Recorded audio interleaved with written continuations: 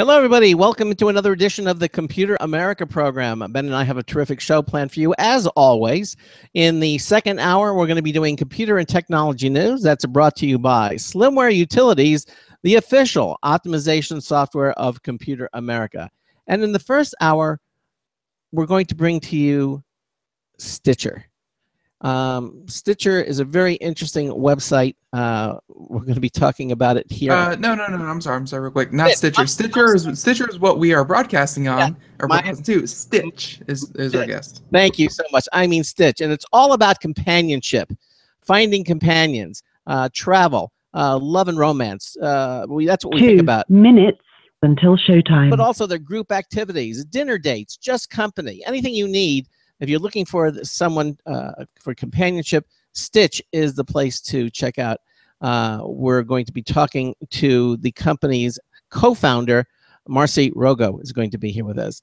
So sit back, relax, as we bring you two hours of Computer America coming right at you here. Stay with us.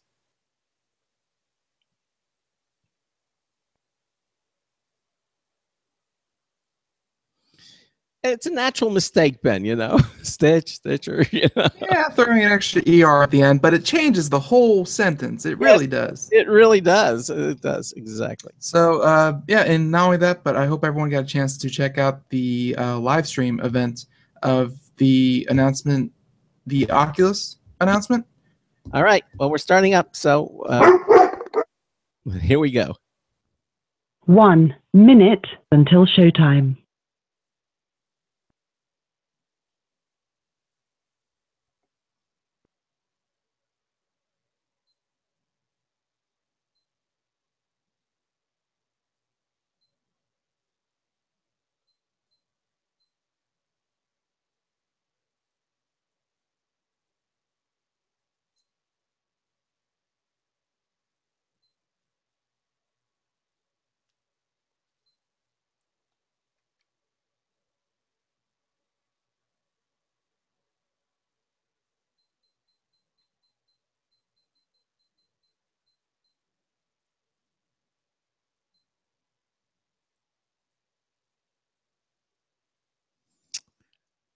Fifteen seconds.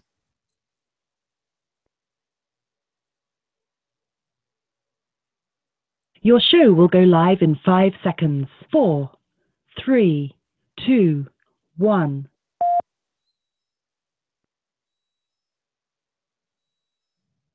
Broadcasting live. It's America's longest running national radio talk show on computers. Computer America. Hosted by national columnist Craig Crossman. Look for Craig's weekly column in your favorite newspaper. This show is being beamed nationwide at ComputerAmerica.com. Keep it here for technology news, computer products, guest interviews, and your phone calls. You're listening to Computer America. Hello and welcome into the Computer America Show. It's the nation's longest running, nationally syndicated radio talk show on computers. Computer America is heard around the world and coast to coast. And I'm your host, Craig Crossman.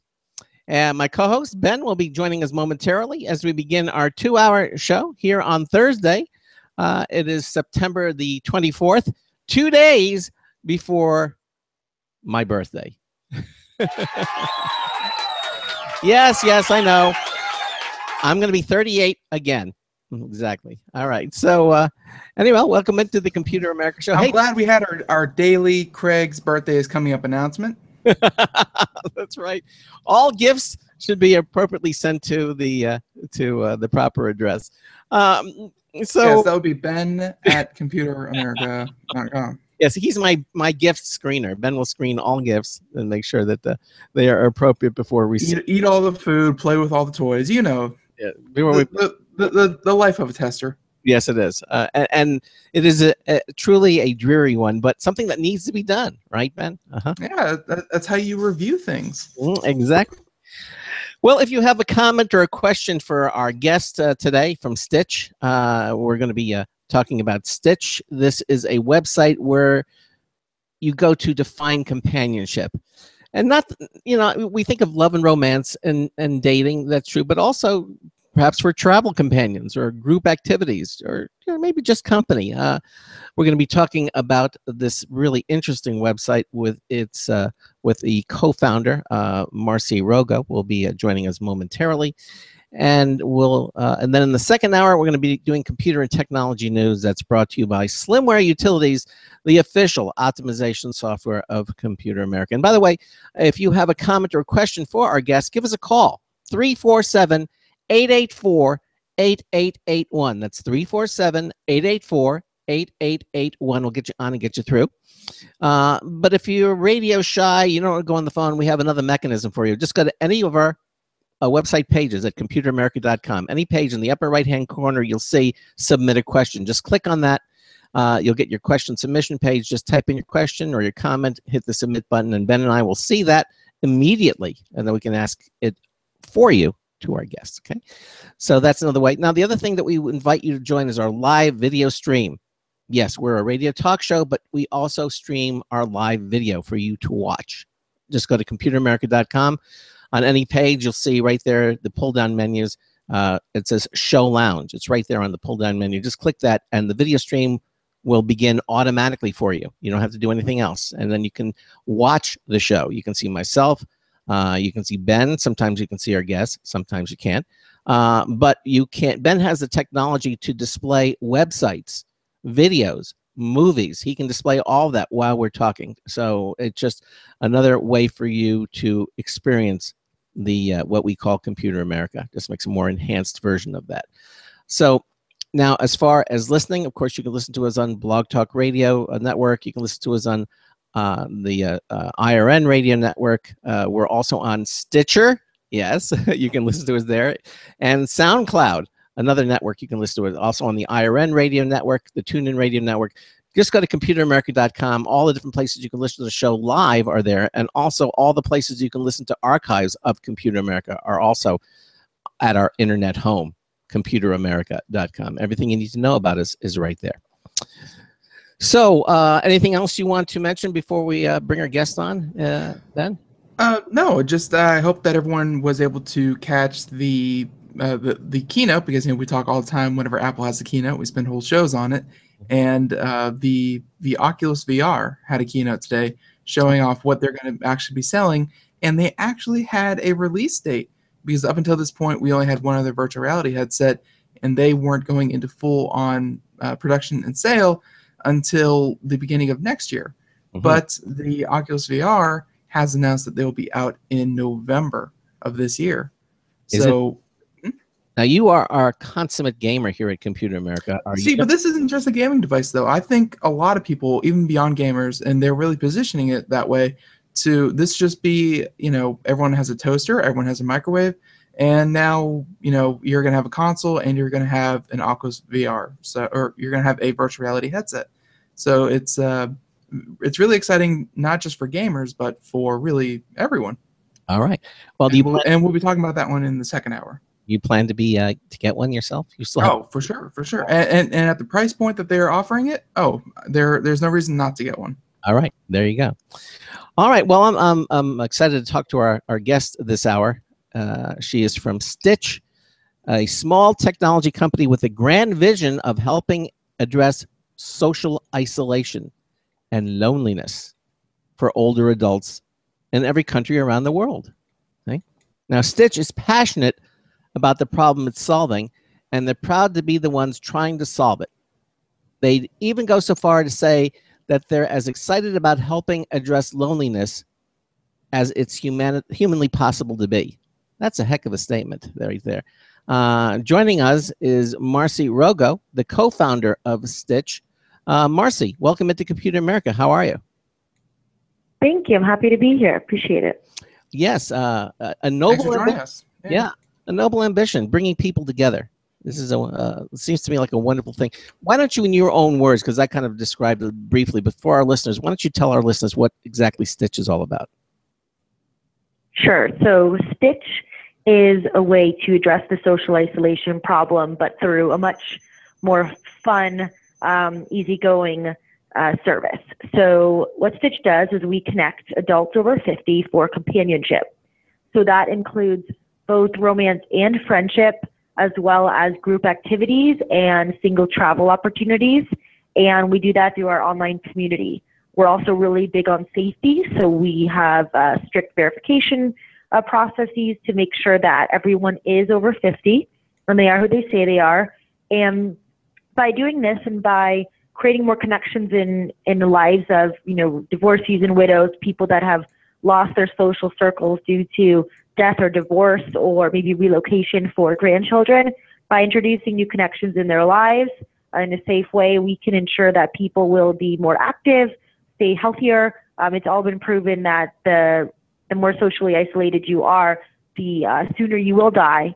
Um, you're basically as likely to die as uh, if you were a cigarette smoker or obese after a certain age. So we're trying to um, prevent that by making it easy to meet new people and go to group activities and do things as you age and by using technology to kind of be the bridge there.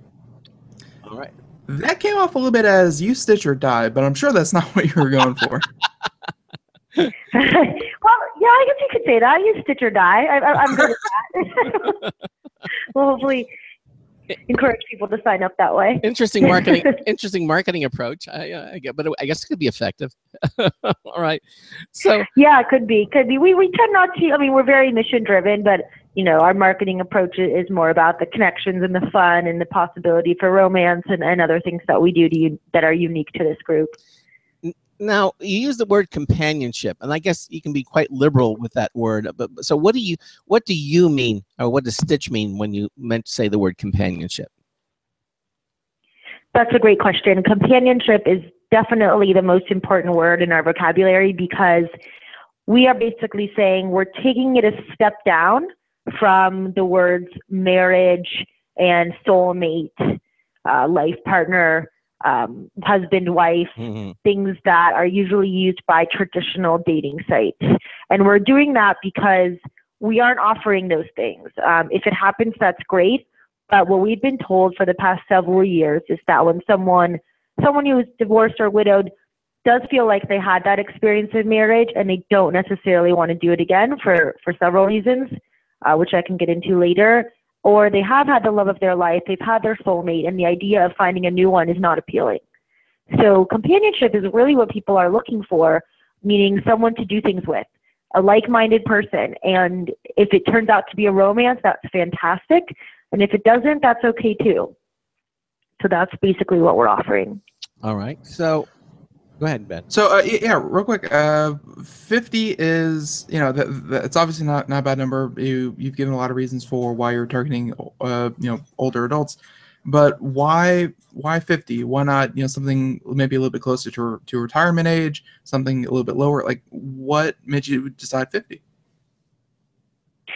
That's also a great question. Yeah, 50 is not old, and, and nothing is really old these days, um, given you know the fact that we had like a 92 year old emailing us asking us where our, you know our um, app is on the app store. She's you know she's ready to go. Um, but we we did 50 because the idea is to put peers together within the baby boomer and senior segments, and people really wanted to come on that were you know as young as in their 30s. So we wanted to figure out how can we invite as many people as possible that aren't let's say gold diggers um, hmm. but that are in the same stage and when I say stage, I mean post reproduction. You've had your kids. The person that you're seeking on Stitch is not going to be someone you're looking to reproduce with because the things you're looking for in that kind of person are completely different than what you're looking for with someone you're not reproducing with, if that makes sense. Makes uh, perfect sense. We don't offer those those filters. I see.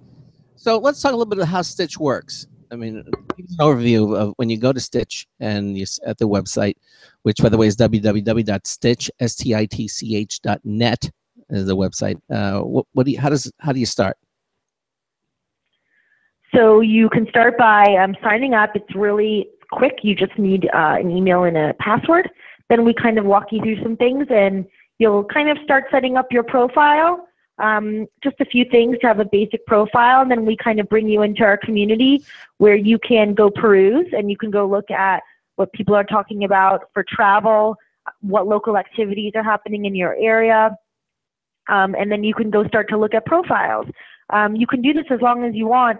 you will not be able to see any names and you will not be able to see any photos until you have verified your identity. Um, but we do allow you to see a lot so that you can, you know, dip your toe in, see what you think, and if you want to, you know, uh, engage and be a part of it. And at that point, we ask you to verify your identity. Um, but before that, you can, you're more than welcome to go to local events and activities to comment on them, um, things like that. So we, we try to make it pretty open. Okay, Marcie. So I've got to ask you this question: How is Stitch different, let's say, from online dating? Stitch is very different from online dating. Um, basically, we put no pressure on marriage or romance. That's not what we offer. Mm-hmm. We do allow you to seek both romantic and or non-romantic companionship with either gender, Mhm. and the profiles that you'll see in your queue, you know, will be in your search settings, and you will be in theirs. So we do have that aspect, which is um, what you know the current apps are doing, like Tinder and Hinge, where it's mutually um, agreed upon to communicate. So, you know, you click, yes, I'm interested, no, I'm not interested, and you look at each profile one at a time. So that's for the real one to one intense connections. And that part of it would be similar to dating sites. But again, we don't use the word marriage, it's really about companionship.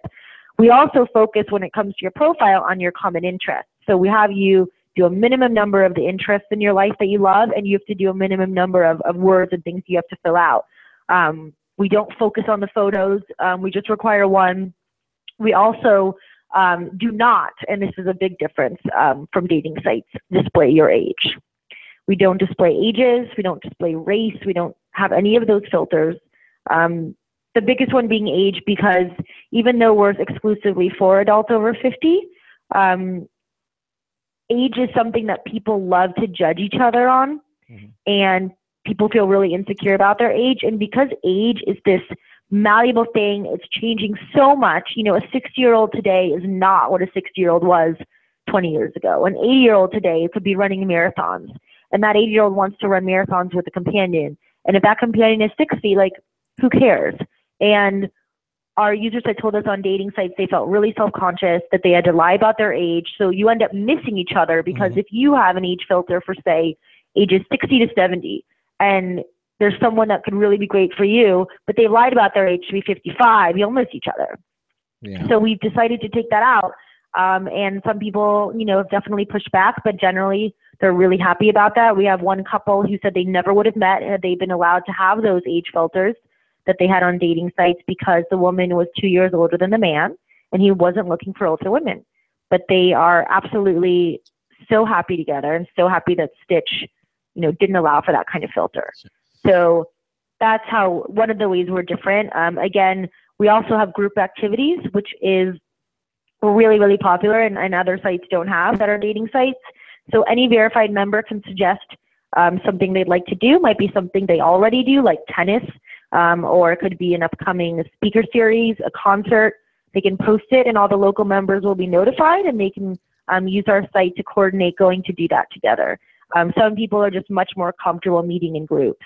So that's been really popular. And then again, travel opportunities are something dating sites don't offer. Travel would be the biggest pain point when you're retired and you expect that you're going to go to all of these places. When you're partnerless, that becomes a lot more difficult. It becomes a lot more expensive. Mhm. So we want to let our, our members get together, groups of 10 or 20, and travel together so that they can save money and share a room or cabin and also have the ability to dialogue about where they'd like to go. So we're very, very different from typical dating sites, um, Mm. right? The, the biggest thing being our verification requirement. Okay. Now, in the wake of the uh, Ashley Madison uh, scandal, I mean, uh, this next question: Can, can I join Stitch if I'm married? I mean, and if you, oh, can you? First of all, before we, That's a great question. So technically, yes, you can, and we actually encourage anyone that's married to sign up as long as they have on their profile that they are seeking non-romantic companionship. Uh-huh. So that's really important. Now, what we do, which other sites don't, is if somebody reports a, a profile saying this person, you know, is married, I talked to them on the phone, um, then we will have to, you know, talk to that person, make them switch over to non-romantic, deactivate their profile. But we find that our, our community really en- encourages honesty, and most people that are married say it very clearly in their profile. They say, "I'm happily married. I'm here to literally find a downhill skiing companion." Um, you know, so we haven't had too much of an issue with that. Well, that's good to hear because again, in, the- in the in the wake of all of that, Yeah, it landed them in some hot water. yeah, exactly. Uh, Yeah, no, it's true. And Ashley Madison ours and, and the other dating sites also really encourage anonymity. You know, like you can go on there and be whoever you want. You can, you know, your username can be like Pinky Lips too. You know, on Stitch we really force you to put your first name. Um, you know, it says where you are. Like there isn't that that shield to have, so you can't get away with that nonsense. If that makes sense. well, you know, anonymity. People find a lot of uh, security in anonymity, and if you take that away, which sounds like you want, what you really want to do, in in in deference to truth, uh, uh, uh, so all of your members can feel confident that to the the people they're talking to are in fact who they say they are, and I think that that's really important. Yes.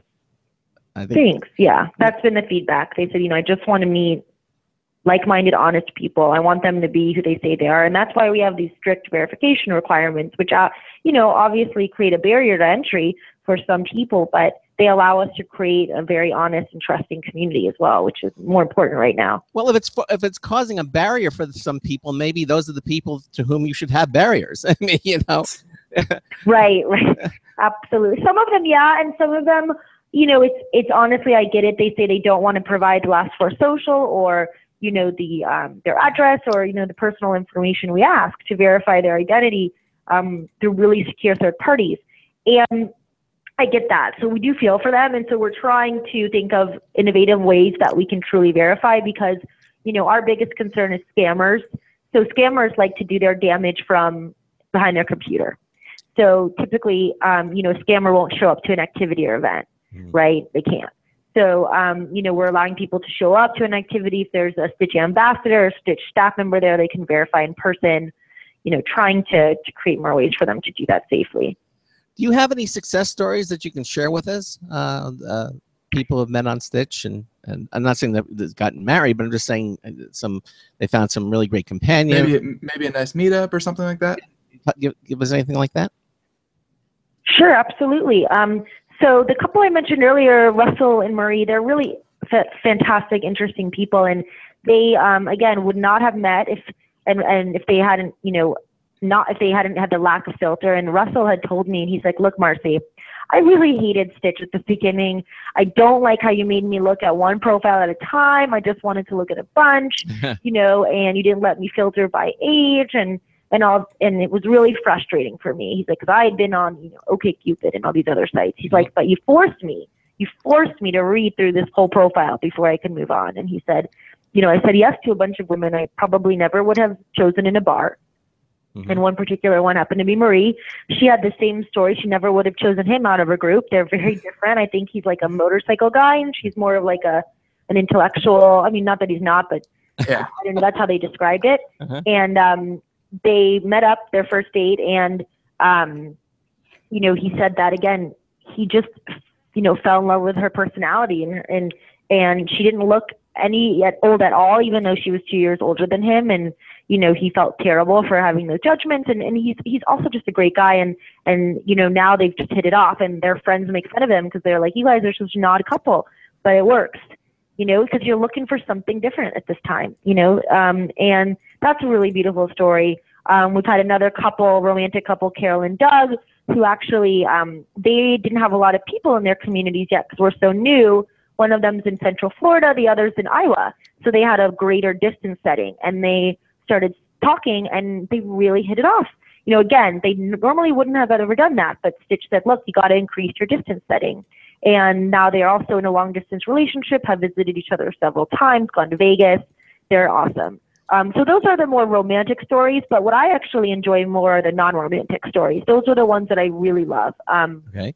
so there's a couple of women in San Francisco who um, went on Stitch, and they had both had this very niche interest in uh, live venue jazz, con- small live venue jazz concerts. Um, and they noticed that on each other's profiles. They stitched, so they both said they were interested in one another, and um, started going off and going to these concerts together. And they still are really close friends, having a great time. Um, another woman in, I think she was in Fremont. She also um, she came to our, one of our parties, our lunch party. Met a couple women. You know, she was looking for a man, but she met a couple women that live in her neighborhood, and she was floored and so excited. And now they've been doing these little like dinner dates and things on a weekly basis. You know, um, really, really, really great stuff. Um, this is why we do what we do every day. You know, if we can help make those connections, and everything's really worth it. It sounds like Real quick, and I would, you know, and and I completely understand a lot of websites don't share this kind of information, but do you have uh, any kind of general breakdown of male to female? Because especially with you know traditional dating sites, it's kind of been skewed one way, and you know for for men it's very discouraging. But something like, uh, but I could see a service like this actually having a much better ratio. It's interesting you ask. Um, it is the opposite, actually, of traditional dating sites. There are far less men in this pool than women. We have about a 60 40, um, 60% female, 40% male. Um, but, you know, that in itself is a hard ratio to keep. Um, the men, um, so there's a few reasons why generally um, at this age, in this age group, there are fewer men than women um, and it's harder to get men than it is women. Um, the first reason because men do die younger. Um, they have Mm. shorter lifespans, and there are just physically less of them. Um, and the second reason is that a lot of these men, um, not the majority at all, but just a little chunk of them, are looking for women in their 20s, 30s, you know, kind Right. of. And we are make it very clear we don't offer that, and we don't have any people that age on our site. Um, and all the other senior sites, funnily enough, do have women those at that age, young women and young men. They don't have any age barriers, even though they market themselves as 15 over. So uh, we don't cater to that group. So we lose that chunk. So for us, yeah, the ratio is always going to be more women. which really isn't a bad thing. I mean, you know, uh, for uh, if if anyone has ever used a dating site as a male, it's you know the ratio is always not very flattering to men. But I guess hey, you know, you get older, you kind of get more valuable as a guy, and that's and that's nice. You do. you do. So all the men out there, get on Stitch. We've got some amazing, amazing women. I think you'll be pleasantly surprised. So tell us a little bit more uh, here. Uh, how, how does someone? Uh, I mean, where where is Stitch currently available right now? So Stitch is currently available anywhere. Um, you know, we are um, a website, so you can sign up globally. Um, what we will tell you is if there aren't enough people in your area, you know, you'll have to extend your distance settings. Our most, I would say, our most, you know, robust, happening, active markets are LA, San Francisco Bay Area, New York tri-state area, and Sydney, Australia Wow, that is. but we are putting efforts into growing in Florida, Arizona, Chicago, DC area, Texas, um, and uh, Central Coast Australia, and a couple other places, the UK. Okay, and uh, again, all begins by going to the website uh, and and uh, and and start the process. Now, um, is it platform independent, or what platforms does Stitch support, Marcie? So Stitch is a right now we have an HTML desktop app, so that you know supports any browser, Mhm. um, and so you can use it on your iPad or your iPhone. You know, within the browser, we've been in the middle of submitting our app to the Apple Store. We're just having a little pushback, unfortunately, for some some things that have to do with our verification. Mhm. So that the app should be out within the next few weeks, if not sooner. Um, half of our users are using us on mobile. So we knew a while ago we needed to get that app out. Now you mentioned some fairly uh, distant places, and which I think would calls up the question about languages. Uh, um, if people speak different languages, uh, what what languages does Stitch support?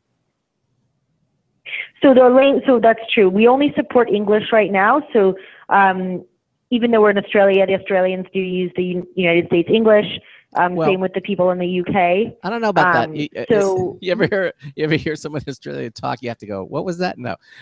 yes, you're right. No, you're, you're totally you're totally right. So they're they're just being nice to us and using our app, even though we talk funny to them. Um, totally. I used to live in Australia, so um, which is how, why we have a presence there. Mm. But um, yeah, they they're being patient with us um, because unfortunately localization is really expensive, Yeah. and we are in our early days. Um, so we'll get there. We're definitely Spanish will probably be next. and if, we'll do a little localizing, of course, for Australia since since we have natives on the team that can just do that, you know, ourselves. But then we have to create another version of it, et cetera, et cetera. Now, um, that, that makes a lot of sense. Um, so, uh, all right. So, so how much does the Stitch cost anything to join? And if so, how much is it? So Stitch does cost money. You know, shocking, I know. But what I love about boomers and seniors is they're such rational people. They're such rational consumers. And unlike stupid millennials like me, um, they don't expect everything to be free and they understand that, you know, it costs money to keep the lights on. So um, we are a paid application. Um, we charge a one-time $10 fee for verifying your identity, Mm-hmm. and that's only because it costs us money Mhm. um, through the third parties we use or the time we, you know, we'll take 20 minutes scouring the internet to make sure this person is who they say they are. Mhm. Um, if you upgrade your premium membership, then that verification is free. And the premium membership is very simple. It's $60 for the year. So that's $5 a month. And we think it's, it's pretty reasonable given that we're new. Um, and then it encourages people to stay with us, be a part of our community, stay on for a year. Um, we don't want people just coming in, looking around, and leaving. We really want to build a good community. Well, is and is that? I think that's the mission here. Uh, when you get something for free, it's it's worth what you paid for it. I guess uh, uh, that's sometimes a perspective. If you're going to Well, it, well, when it's free, that you you remove one little barrier, and that you know uh, it seems like you guys are really going for you know a- active verification, and you know really trying to keep the the spam profiles and you know all all the uh, it, because really, I also assume that are some of these barriers kind of set up because you know uh, as much as we love them. The baby boomers tend to be the targets of identity theft, fraud, and, and that kind of thing online. Oh, a thousand percent. That's why they're set up. Like eh, they are the targets. Those scammers. I mean, we spend a lot of our day, you know, unapproving and getting rid of scammers that are trying to get into our site. They are after these people like white on rice, and they are um, total. And they would trick us too, but they just don't target young people. They want the widowers, the divorcees. They want the vulnerable people, and they're getting smarter and smarter. It's unbelievable what they can come up with. Um, sometimes they even hire con artists in this country to actually go on the date and go out with those people, uh, steal their checkbook while they're in the bathroom. I mean, it's really sick. Um, so that's the main reason we have verification because uh, on dating sites, when you're over 50, when you sign up, no matter what happens, you're going to get so many messages from scammers. You're going to get people asking for green cards. You're going to get, you know, attractive men, you know, asking you for money. And, and even Yeah. if you don't, Marcie, we got know, fall victim, we- yeah. we got to take a little break and then we'll come back. I'm sorry to cut you off. Oh, no you're, li- you're listening to the Computer America Show. Uh, Stitch is here with us. We'll be right back. Stay with us. Sometimes disaster strikes. Data can be lost due to many different reasons accidental reformatting, power spikes, virus attacks. Zero Assumption Recovery provides a suite of highly effective and thorough data recovery software for Windows operating systems. ZA is suitable for home users and small businesses who need a powerful data recovery solution for Windows and Linux file systems. Go to z-a-recovery.com. Sometimes disaster strikes. Data can be lost due to many different reasons accidental reformatting, power spikes, virus attacks. Zero Assumption Recovery provides a suite of highly effective and thorough data recovery software for Windows operating systems. ZA is suitable for home users and small businesses who need a powerful data recovery solution for Windows and Linux file systems. Go to z-a-recovery.com.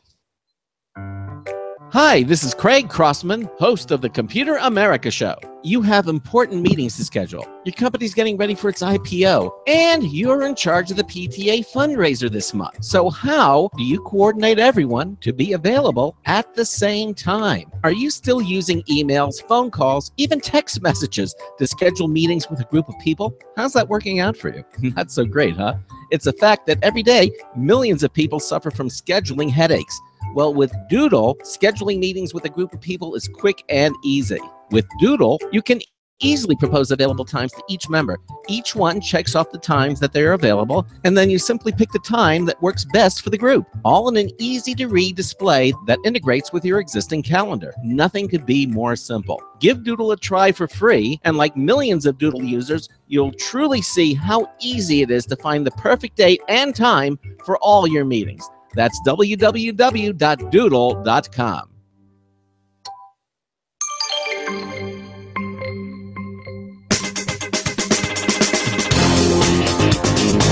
and make it 350 for 25 minutes. Oh, hi, it's Marty Winston with a News Tips Bulletin Review for Computer America. This time, a 24 port gigabit switch from TRENDnet with PoE Plus. That's a flavor of power over Ethernet. So the same cable the networks also powers that supports devices that need a little more power, but even better, it more tightly constrains the delivered voltage range, which can mean more operational stability. With 24 ports and a total 370 watt power allowance, it handles everything. One little bit of a bother with this unit is that taming that power supply in a 1U rack mount means it has a fan that sounds a little bit like a hair dryer motor, but that's a tiny trade off. Bottom line, the TRENDnet TPE TG240G 24 port PoE plus gigabit switch is a one piece solution to two dozen needs. Marty Winston with News Tips Bulletin for Computer America. Welcome back to the Computer America Show, 33 minutes past the hour. And thank you, Marty Winston, for that news tip bulletin review. Yeah. And we are here with uh, Marcie Rogo, who is the co founder of Stitch.net. And Stitch.net is a dating site for a, a companion site, not, not a dating, I'm sorry, companion site, very clear distinction, uh, for people over 50. And, you know, right before the break, we, uh, Marcie was just telling us that these paywalls are there, you know, A, to keep the lights on, and B, as deterrents for scammers and other types of profiles that really you don't want on there, especially to people who are perhaps more vulnerable because, you know, they don't know that, hey, there's someone out there who's in a completely different country, completely different, uh, you know, part of the world, and they're asking you for money and, you know, they might be willing to give it. And that's, you know, obviously a problem. So, you know, that, and this is all part of the sign up process, which we haven't really talked about yet. So I thought you could go into that a little bit because it sounds like it's a little bit more complicated than put in a name, put in an email, and you're off to the races. Yeah, it is a little more complicated. It's it's there's just multiple steps. Um, the the initial process is to put your name and email. Um, then you will get uh, put into a few screens that just kind of explain what we're about, ask you for your first name, and then there's a screen that asks you for the basics of your profile, very basics. Um, you know, what is the, the question that's most important on everyone's profile, which is mandatory, asks you, what is one thing that you've been wanting to do but don't have someone to do it with? Very simple question, very unique, and it's really important because that's how we really um, our, our algorithm matches people. Mhm. We ask you for one photograph, which you can upload later, and we ask you for your first name, and that's it. And then at that point, you can go searching around. So we don't stop you. We really want you to get a feel for what Stitch is about. You're just restricted. So you cannot browse profiles until your profile has more content because it's you know people really want to read more about you. And when you do you can look at the profiles but you won't be able to see their names or photos until you verify your identity. Then um, but before all that you can still go and look at our events and activities. You can see what people are talking about. You can even comment yourself. Um, that's a very free and open atmosphere because again our, uh, we're not worried about scammers showing up at an event or activity. They do not do that. Because they are almost always in a different country. Um, and then there's the travel section where people are posting the places they'd like to go to. You can go ahead in there. You can go into our community section and again, you know, do that. What you really cannot do, which is the big risk, is directly communicate with any other member until you have verified your identity. You cannot message back and forth. You cannot have that direct private communication because that is where the scammers hit. So um, by asking you to verify, we, we again cover our costs, but also that credit card information is really telling. Most scammers will, will use a stolen credit card, and almost all of them, that credit card is in a different place than we have their computer in. So it's a first really easy way to see if anyone is a scammer for us, and then there's of course deeper research we can do. Right. Um, uh, again, all in the name of security. Uh, I would I would think. Right. because it can be a dangerous Yeah, world out it there. definitely is. it can be a dangerous world out there dating uh, you know and, and, and meeting other people uh, and i guess that goes to the you know the question is stitch safe it's there's been a movie the uh, is it safe no is is stitch safe i mean um, obviously you seem to be going to every um, uh, much much further lengths than any other dating site that I've definitely seen. Yeah, and and we are, and it, because it's a real threat. I mean, last year almost 100 million dollars was stolen in in online romance scams in the U.S. 25 million in Australia. You know, it's a real, actual problem, um, and we are going to great lengths. However, we are as safe as we can be from you know with the control of what our team can do. But you know, again, these scammers are getting smart. So we always allow our members to report any suspicious activity, and they're so great for our community because they do do that. Um, and most of the time that person hasn't gone through verification but they still see oh this profile's not you know good and so our community helps us that way also we still tell people do not meet up you know at at your home. Always meet in a public place. Like Mm. make sure that you you know don't see we have you know tons of support articles about being safe because obviously you know somebody could just turn into a criminal even though they verify their identity and they seem fine and they're not married. We can't control that right? Right. so we just try to do right by our members by always encouraging them to meet someone public place.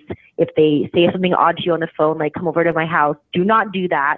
Do not share your phone number or your email before you've met up in person. We actually have a secure phone calling system so that you can use a Twilio integration to call each other and talk on the phone without sharing your that's nice um, real phone numbers. That's nice. Yes, that, that, that that's a nice touch. Um, now I asked you earlier the question, obviously, how does Stitch compare to free sites? So now I'm going to ask you how Stitch compares to paid subscription sites, which is a little closer to what you do. How do you compare? So let's talk about, let's say, Match or eHarmony. These are paid sites. Uh-huh. Um, usually they charge between 30 and 50 a month. Um, we, the first thing that we have way better than these paid sites is customer service. Our customer service is serious and we are, we answer absolutely every inquiry from our members. We have a phone number that we display on our site. Unlike a lot of other sites out there, they're welcome to call us. We will walk them through whatever they need. Um, the, we, we have this A because I think it's the right thing to do, but B because one of the major complaints when we were building Stitch um, about other sites was that they couldn't reach anyone on the on customer service team that they would get charged without having you know allowed for that and they would ask for refunds and been told that they can't get them that there was no one to help them and they felt absolutely helpless against this big company. And we never want our members to feel that way. So you know if they feel like they were charged and didn't want to have that extra month whatever it was we'll refund it. We'll talk them through it. We'll do whatever we can to to speak to them as a respectful human you know who's paying for a service. And i don't really understand how paid services don't offer that. If you're taking someone's money you should be providing real good customer service. So that's number one. Um, number two unlike the paid sites we don't um, we say what we're going to do. So like OurTime is owned by match. It's the most well-known dating site for people in their 50s and up. And Right. they allow anyone of any age on their site. They also allow scammers on and they just say to their users it's at your own risk. Uh-huh. you know like it's up to you to make sure you sit through this because they're just big money making churning machines right? So they'll take anybody on. I signed up to OurTime when i was 26 just to see what it what was going on. You know it's it's really um terrible and for us um even though we need to make money and ultimately we're going to need to you know have that money and all that we know that if we're giving our members what we say we're going to give them which other sites do not we will we will in the end be successful because boomers are very loyal. They're also um, they definitely you know spread word of mouth easily. If they like something, they're going to tell people about it. So we're just trying to do right by them, to be honest with you, which a lot of paid sites do not do. Um, also, we have an annual plan, which is different. We'll be introducing new plans in the future, but as a new site, um, we thought that was the best option for us. All right, I got to ask you this, Marcine, uh, and um, obviously you, you you've you've had experience with this. You are a co-founder of Stitch. What was your motivation? So, I mean, what made you decide? You know, we need to set up something like this. Did you have a bad experience on it, or did you know a person who had a bad experience, or or you just felt that this is something that needed to be done? I mean, what was your motivation in creating Stitch or uh, and co-founding it?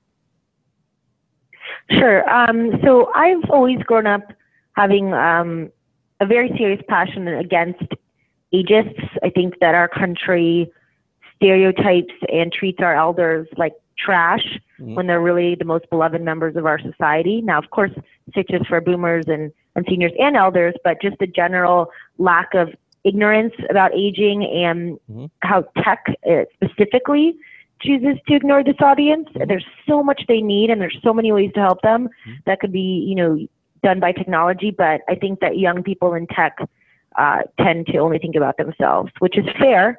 Nobody wants to think about their own mortality. But for me, um, I've always kind of thought about this group.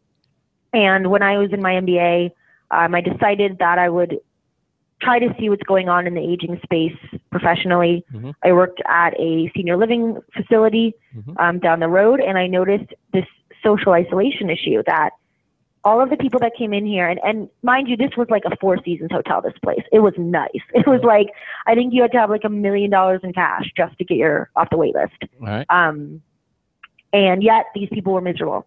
They didn't know anyone. They just moved there. They, you know, it's obviously very awkward to go room to room and tell people what you like to do. But a lot of them I could see were doing the same things in their rooms. And if they just had known that, they, they would have been maybe walking each day, you know, definitely put off their, their death, you know, by just getting out of the room.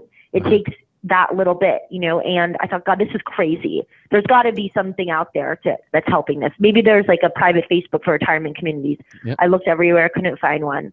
So I tried to build one myself. Um, you know, and that was kind of phase one. And phase three now t- today is Stitch. Um, people really wanted companionship. They had told me over the years, and that you know I had been, and they were all using online dating because they said I don't know where else to go, mm-hmm. but I hate this. I hate online dating. Mm-hmm. I also using online dating sites completely feel their pain. Totally get it. This, the games that are played, the fake mm-hmm. people, the weirdos, the creeps. It's a very yucky process. Um, but I realized that what I was looking for was different because I would like to, you know, marry someone, have children, but all the people I was working with, you know, said, I'm looking for something a little different, mm-hmm. you know, and this is what it is. And this is why I don't like online dating. There's so much pressure for marriage and this and that. And, you know, hearing these stories over and over, I realized, you know, if I wasn't going to be the one to do this, no one was. I mean, or it could be years, you know, and, and being a young person in tech, I had the, the tools at my disposal. And I mm-hmm. met this man, Andrew Dowling, who was trying to solve social isolation for elders and their families. And we both had the same outlook on it. And we never, we never dreamed of starting a dating site. That was definitely not what Andrew and I got into this for. But what we realized in the end was that we could solve the problem of social isolation through offering romance as an option, among other things, really offering companionship. Right. So that's why we launched Stitch. Make, make a, and where'd you come up with the name Stitch? That was kind of interesting. How did you come up with that? we get asked that a lot. So um, we had a prior product, the, the social isolation for elders, called Tapestry, because it was about weaving families together. And at the time, we were keeping that on as well. So Stitch was a sister product. So we wanted it to sound like that, Mhm. but you know, about weaving people together. So Stitch was kind of the the other alternative, and the URL.net was available. so we we went ahead and and and took it. Although we do get mixed feedback about it, but you know, it's hard these days to find a name that people can spell and repeat. Um, Yeah. you know, that's available. Yeah, it is. Uh, when I first heard it, the last when I first heard Stitch, the last thing I thought was this is going to be. I thought it was going to be a medical site or or you know, something along that. I didn't think it was going to be a, companionship website. Uh, but you know, I know, I know. It's it's kind of funny. I mean, well, a lot of people on our site like to do, you know, um, embroidery and, and yarn and yarn and, and quilting. that kind of stuff and quilting. So, Yeah. you know, they, they come across her sometimes accidentally because they're looking for their quilting website, That's and then they end up signing up for Stitch. yeah, exactly. Well, uh, listen. Uh, anything else you want to tell our listeners, uh, uh, Marcie, uh, before we uh, say uh, good afternoon? Uh, I mean, it's extremely uh, interesting website, and we certainly encourage all of our listeners uh, in that age range uh, certainly to check it out. Uh, and of course, you can go to the website at stitch.net, S-T-I-T-C-H.net. We also have it on our website at computeramerica.com. Just go there. We have a link to the stitch.net website too. So yeah, anything else that you might want to mention that we haven't covered?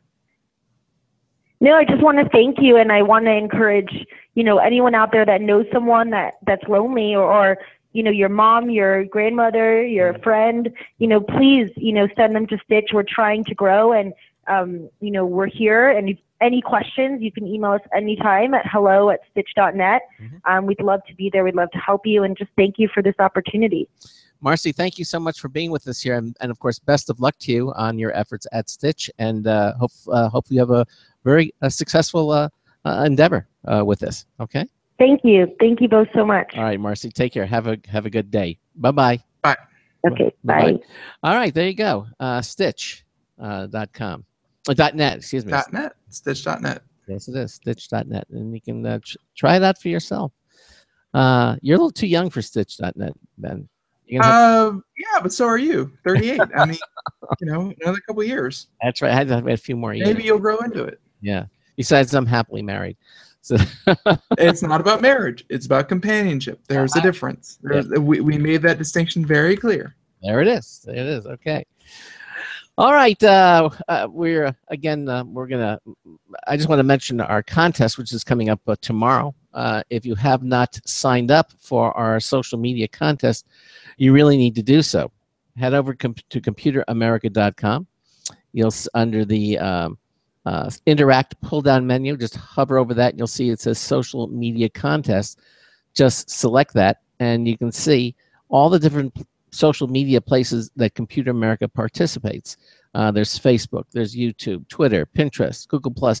Um, check out each one. Each one is a link to, you know, for example, it takes you to facebook.com slash computer America. Just click on the logo there. Uh, like our page. That's all you have to do. And now you have an entry every single week. You only have to do it once. And then from then, every single week, you have one entry. If you go to our YouTube page, which is also there, and you subscribe to our YouTube feed, now you have two entries into our social media contest every single week forever. Go to the Twitter link and follow our Twitter um, page, and then you'll have three uh, per week, and so on and so forth. So that's how it is. You just do one time, and the more that you check it out, the more the more uh, entries you'll have on a weekly basis. And uh, we're giving away the Logitech MX Anywhere 2 wireless mouse. This is a beautiful mouse. It's valued at eighty dollars. Um, it, it's a mobile mouse that performs anywhere. It's actually really pretty to look at. Um, it's compact. It has a dual wireless connection. Uh, you can go uh, connect to Windows, Mac, uh, either via their uh, Pico unifying receiver or via Bluetooth smart wireless technology. It works with both. You can easily switch between three different devices. They have their easy switch technology. It's a little button on the bottom of the mouse. You just press that. You can see three little LEDs. You can you can uh, between three different computers. It's got the hyper fast scroll technology, and also it has the dark field technology. It means you can use it on virtually any surface, even glass. Uh, it's an amazing mouse. Works with right or left hand. It's ambidextrous. And again, valued at eighty dollars. We'll give that away tomorrow in the second hour. And you know, and if you sign up at our social media uh, contest, we, we- we could be calling your name. It could be just that simple, right? And trust me when I say you have a lot better chance of winning this than at the lottery. okay, so No doubt, no doubt. no doubt. So head over to Computer America. Prize is a little bit smaller though, but still, exactly. I don't think anyone's going to retire off of their new MX Anywhere 2 mouse. So No. No one's retired, but certainly they'll have a lot of fun with it. And uh, for sure. and even if you don't win one, you should check it out. But I mean, like you know, no one's ever went into work the next day, or you know, sent us a story of I went into my boss's office the day after I won my prize, threw threw my letter of res- my letter of re- resignation on his desk, and said, "I got a mouse. I can go anywhere. I don't need this," and just stormed out of the office. No, that doesn't happen. But hey, you get a cool mouse. Yes, you do. Okay. So uh, again, check it out at computeramerica.com or social media accounts. Check, well, you're there. Just check out all the really cool things we have up at our at our website. Uh, we under the press releases, news, and info. Uh, you can see all the different things we do. We have our show notes. Uh, our guest calendar is there, so you can see who's going to be on the show for the entire month and months ahead. You can see that. Uh, we have our show archives page there, all the different places that you can listen to Computer America. We have our top tech awards, our tech news aggregator. Uh, all of that is there at computeramerica.com. So just take a moment and check it out. Okay. All right. Uh, um, I think we have time to do a few news stories. So why don't we just do some uh, some computer news? Yeah, we'll let it bleed over into the second hour. All right, we'll do that. So let's just do news. Today's computer and technology news is brought to you by Slimware Utilities, the official optimization software of Computer America. You can visit them at slimwareutilities.com to clean speed up, and optimize your Windows system. SlimWareUtilities.com. And remember, it works now with Windows 10. Exactly. So I know so many of you now have it. SlimWareUtilities.com. Check it out. Use it. You'll be happy. You'll thank us for it. Yep.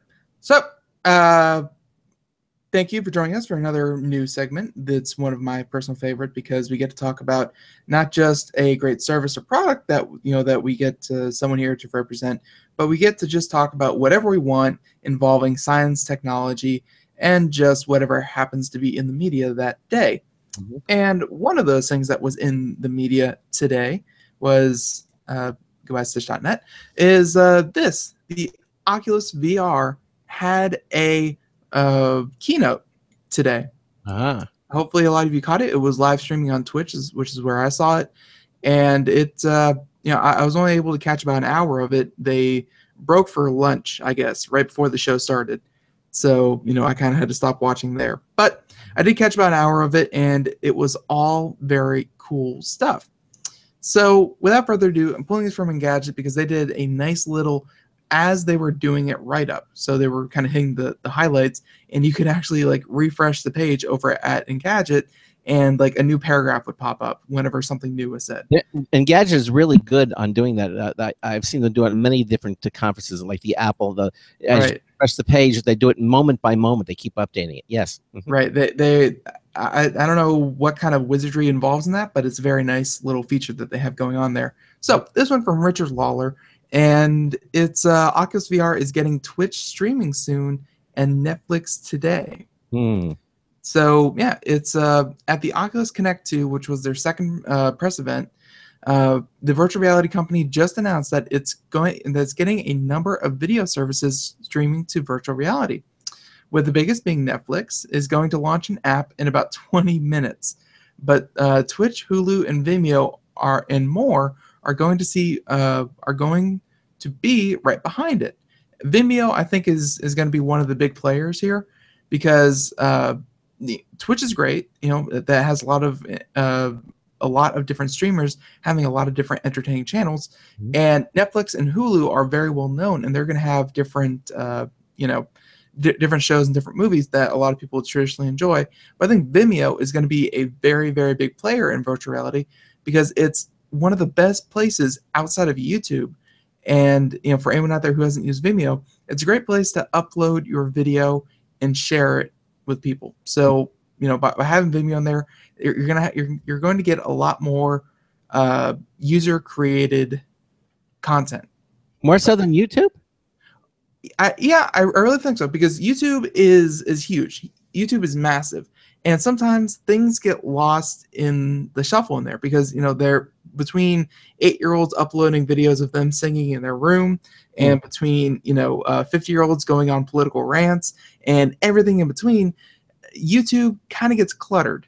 Where Vimeo, that's where a lot of independent uh, film makers hmm. actually go to release their footage you know, yes, that might be on YouTube as well, but Vimeo is really the first place that a lot of people go to, you know, to do shorts, to do videos. And in this whole new world of 3D videos, I feel like the the big players really won't get into it until a couple of months down the road, you know, and and they won't even get into it that much. Like Disney invested what was it, 65 million the other day Yeah. into three 360 degree video Yeah. and that's great and all, but we won't see the fruits of that for another year or two. So I think Vimeo and user created content, that's going to be the best place to find 360 degree video, which is something that will ideally be in virtual reality. Like you're gonna like you're gonna want virtual reality to see 360 degree video. So yeah, and uh, you know, getting back to the article, uh, we didn't get a ton of details on the experience, but we expect to see something like the uh, current Oculus Cinema. By the way, they have a few pictures here up in the article. It's a very nice furnished apartment looking kind of place, and there are posters hanging on the wall.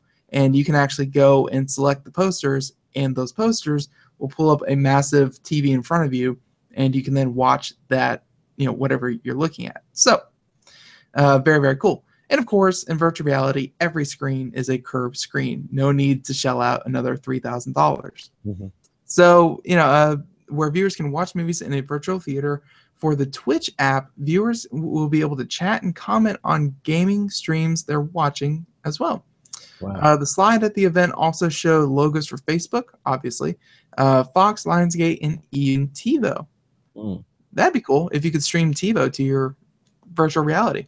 That would be kind of neat. Yes, it would. Nice little tie into the cable companies. So, uh, you know, Hulu provided some details and pictures for its app, promising to stream both its existing 2D content and short form stuff built for VR. So, first up for VR is a short film. It's making uh, it, it's making with Rocket Jump and Lionsgate called The Big One. For viewing environments, it's building areas based on shows like the uh, like its own original Difficult People and Seinfeld.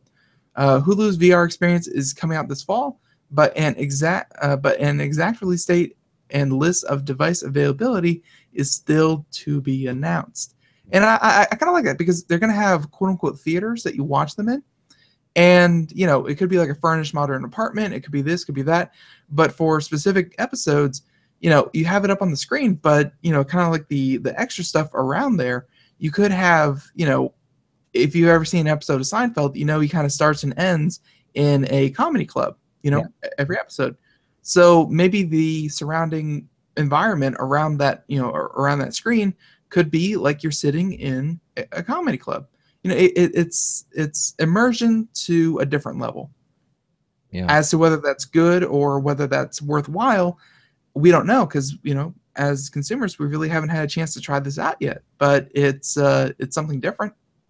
It certainly, it certainly appears to be. Just looking at some of the slides here on the news story. Again, if you're watching this, if you ha- happen to be watching the show, uh, you can see Ben's displaying some of the things uh, from this Story. And, uh, and and just to wrap this up really quickly because we have about one more minute left. But yeah, uh, Facebook, Fox, Lionsgate, Twitch, TiVo, Vimeo, Hulu, Netflix all announced that they're going to have apps on which you can play or in which you can enjoy content through virtual reality or at least the Oculus.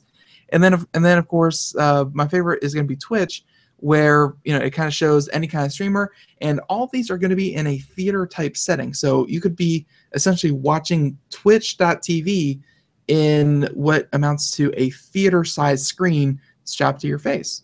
Yeah, because that's what you get with the virtual reality. And, and I think when we come back, uh, we should talk about uh, some of the other stuff I saw during the keynote because uh, this was just the tip of the iceberg and what Oculus VR is really planning. Oh, there's more. Okay. Of course, of course. Okay.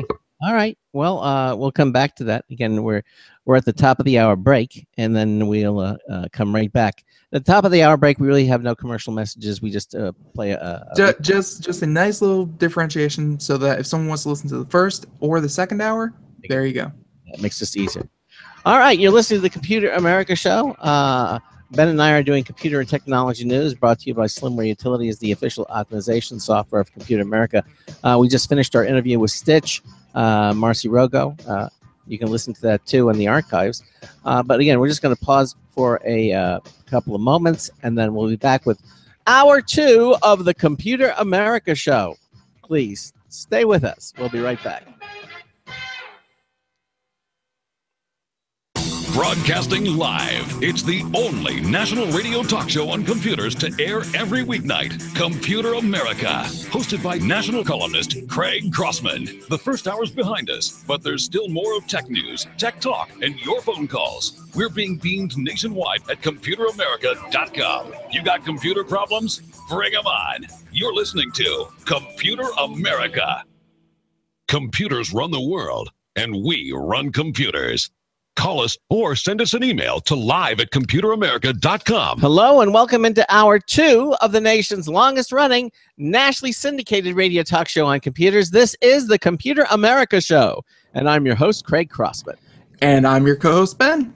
And uh, we just had our first hour guest uh, from Stitch, uh, Marcie Rogo, co-founder of Stitch, basically a, a website you can go to meet companions for uh, for for older uh, the older generation, I guess. Is that the best way to say it? Yeah. And if you missed any portion of it, you can listen The to more it. seasoned individuals. Yes, more more knowledgeable, more more worldly. There Uh, you go. Exactly. Um, and if you missed it, you can go back to computeramerica.com and just go to our archives page. It's under the archives pull down menu, and you can download it any way you want. You can go to iTunes, carries the show. Um, the uh, Blog Talk Radio uh, network carries the show. Uh, we have also two new ones. We have Stitcher and SoundCloud now carry the full two hour episode of each uh, daily Computer America show. And again, it's all at computeramerica.com. So if you want to, you can uh, check it out. But as I said, in the meantime, we are doing computer technology news uh, brought to you by Slimware Utilities. And uh, we were still doing the story. You had a few things more you want to talk about. Oculus uh, VR uh, is getting Twitch streaming soon and Netflix today. And uh, you were abs- you were able to watch part of the keynote. Of course, then we had to go on the air. So, but uh, you, you're following Engadget's moment by moment accounting on their website. And what else did you want to talk about? Well, yeah, some of the other highlights were, of course, we haven't even talked about the date it was released and the price point. Okay. So that's obviously a big thing, and that it will be it will be released to everyone in November. So you know, fully expected by Black Friday, it will be already out and on the shelves, and hopefully in abundance. And you know, hey, this, this will be your first chance to actually get a virtual reality headset. So it, it's going to be released this November, and the price point is pretty surprising. It's not a full blown. It okay. One thing we need to make very clear about virtual reality is, uh, folks, it's not an all enclosed system. It's not like you strap this thing on and you can walk around the house with the thing strapped to your face. That's not what it's for. It's more of a monitor that you put on your face. You know, it, that that's essentially it. It's it's essentially a monitor, and therefore the price actually came in at under a hundred dollars. Wow. They're, yeah, they're they're hoping uh, they're hoping that it was that it will sell for ninety nine bucks, which again isn't that expensive at all. But And- here's the kicker: Yeah. the kicker is you're going to need some kind of pretty decent hardware to back one of these things up. So that's why we're going to talk about this other story here, just scrolling through these different things. And Oculus Ready PC program offers virtual reality rigs for less than $1,000. See, the price just went from $99 to hopefully under a 1000 Okay. so the uh, the they said that when the when the Oculus Rift and of course this is the uh, this is the uh, Oculus Ready whatever launches in in uh, 2016, you need minimum specs. These are the minimum specs to run virtual reality: eight gigs of RAM, which isn't too bad, an Intel i5 processor, so hopefully that's going to be above a 3.4 you know gigahertz or something like that, and an NVIDIA GTX 970 or an AMD 290. So some of the latest generation graphics cards. You know, 970, I believe they re- announced a 980 and like a 980 Ti. So a GTX 970 is gonna run you, I want to say about $350. It, it's it's not a cheap uh, graphics card by any means, and most of the system performance that comes out of virtual reality is indeed rendered by the graphics card. So you know these are of course the minimum specs to actually run it in some kind of decent fashion you're going to want the best graphics card you can absolutely afford and probably more ram and definitely a more powerful processor than a simple i5 so you know minimum does not mean recommended recommended is, is probably still going to run you about a thousand dollar gaming computer Yeah. Well, as you say, not not a slouch, obviously. Obviously. And yeah and, and unfortunately not a lot of people have a computer with those kinds of specs. Like i'm like even mine is kind of lacking a little bit in terms of processing power. And i'm sure yours craig you know your computer is getting a little long in the tooth. Yours couldn't even run that. So it's you know a a higher end computer built within the last two years would probably be okay. But anything beyond that and anything below higher end you're probably going to have to you know start saving up not for the con you know, not for the headset because that's only you know 100 bucks but for the hardware behind it to actually make it run. Mm-hmm. Exactly. so of course. And you know just uh kind of going over some other highlights. They didn't uh, uh the the keynote uh speaker he was pretty entertaining. He's like you know i'm not going to fool anyone here. We didn't uh create some kind of weird metaverse that you know, that everyone can kind of jump into. We didn't uh, this isn't going to be the end all say all of virtual reality this isn't even where we really want it to be yet and they kind of paused for a moment, and the whole crowd was you know kind of silent, kind of you know kind of wondering where he was going with this, and they turned around, threw his arm up, flipped the slide, and he's like, "But we got Minecraft." So that's something. and so yes, Minecraft for Windows 10 uh, will be coming to the Oculus Rift. We we saw some uh, we saw some version of that with the HoloLens, which was actually augmented reality, not virtual reality. Mhm. But they are bringing Minecraft to uh, the the Oculus Rift, and it's going to be virtual reality, so completely enclosed, and it's and they're promising to be much more immersive and you know that that whole thing. So if you enjoy Minecraft, maybe think about enjoying Minecraft in a completely different way, which is hey, potentially even you know first person as if you were actually trying to jump away from the spiders and the skeletons and the zombies. You never know. That's true. And you know they- also announced a couple other things like a classic, uh, you know, some, some classic arcade games. I'm sure Galaga, Pac-Man, those kinds of games are coming to this thing called the Oculus Arcade, which you know if you've played any of the old arcade games, it will be a nice little place that you know games that are really at this point considered kind of free. You know they they they're past their time. They're timeless, but they're past their time, and the fact that they were made you know way back when, they're now going to be offered on what is some of the oldest technology being offered on some of the newest technology. So, you know, nice little feature. Think of it kind of like solitaire being included on Windows computers, you know? Yep, exactly.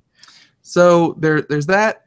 And, you know, I'm, I'm trying to think of anything else that they kind of announced. One thing that they did talk about was that something a lot of our correspondents and a lot of other people have been talking about when we discuss virtual reality is that it's a very enclosed system. Like you you sit down, preferably in a in a swivel chair, and you strap this thing on your head. You have your two controllers, and you are completely immersed.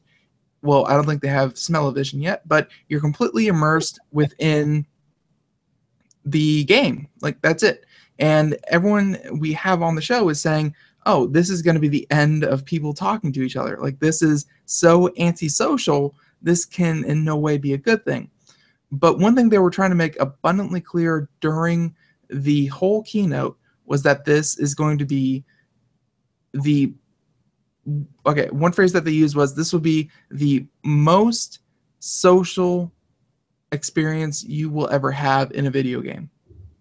Well, you know, and that's that's a heck of a cl- claim, especially since we had Super League Gaming on last yesterday's show, talking about having a social interaction video. Right. So Right, but but this is talking about. Um, I believe the keynote says something along along the lines of you're going to have an avatar and you're going to be in a game and you're going to have motion that is you know captured by all the equipment and it will be displayed you know real time to the avatar. And if you are sitting there you know playing a game and you see the avatar and he's making movements you know he has a microphone so he's talking with his actual voice. And you know it, it won't be a picture in picture perf a, a picture of you but rather of, of an avatar.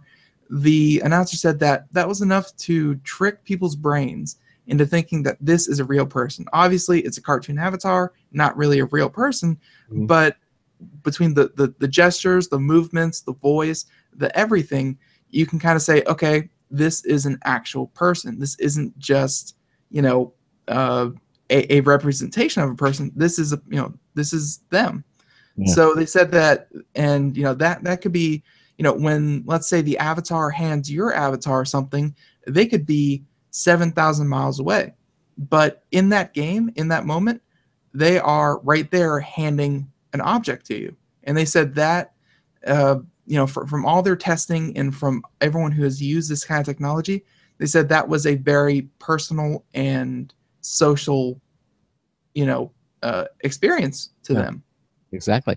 Uh, it kind of boggles the mind that you can have somebody's far away, but make make you feel- yeah you know people can be as far away as possible but at the same time you know they're handing something to you they're talking to you they're you know helping you do a task. Yeah. it's it's you know as close as someone can be as if they were right there next to you which is i guess kind of the opposite of what we've always been hearing about virtual reality where you put something on uh, you put something on your head and you get so immersed in it and there you go you know the outside world is completely blocked out.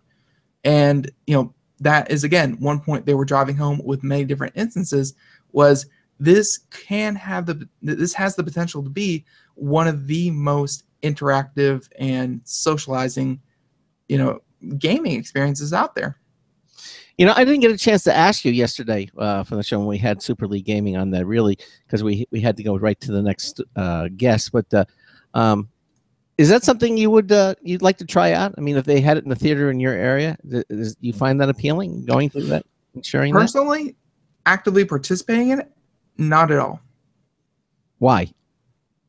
because uh, by the way yeah we're getting off topic but Yeah. uh, not at all because i'm not really who it was designed for Wow. i'm not a you know I, i'm not an 8 to 16 year old i'm not you uh, know a, a- kid looking for other kids and looking for that you know their, their own little social group that they fit in better with had you i had i that feel a little bit more secure in my identity but yeah, hey that's Had- what it is had you been had they had that eh, when you were in that age group? a lot of hypotheticals going on craig Yeah, I know. I'm just kind of curious if you would if you would have found it attractive. what i the the thing i took away from that was i would be fully comfortable partnering with them and trying to set something like that up in my area. Like i would completely run something like that because that i think is is just an awesome idea.